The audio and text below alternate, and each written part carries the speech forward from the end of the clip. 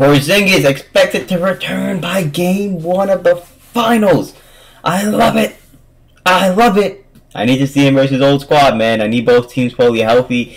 This adds a whole different dimension to this offense and defense. The stretch big that he is, and it's going to make Kapanen Live to go to the perimeter where they're not going to be able to play defense like how they play inside, you know. So um, it's a huge, huge person to get back. It makes them more of a power than they already were. They're already obviously everyone's saying that the Celtics have a cakewalk, they didn't have one of their guys too, you know. So um, they're getting him back and I'm glad that he's back because I made a prediction video yesterday. I'm dropping it tomorrow um, for the NBA Finals, and it was all based on his Porzingis would play, and he is playing off game one. I hope he doesn't get injured again off rip, but I really want to see him versus old squad. That is super, super, super fire. I won't lie. And then obviously Kyrie versus old squad. So, but this is a he's gonna affect things. He's going to be a difference maker, and um, he's really good. So, um, sheesh, sheesh, scary for the Mavs.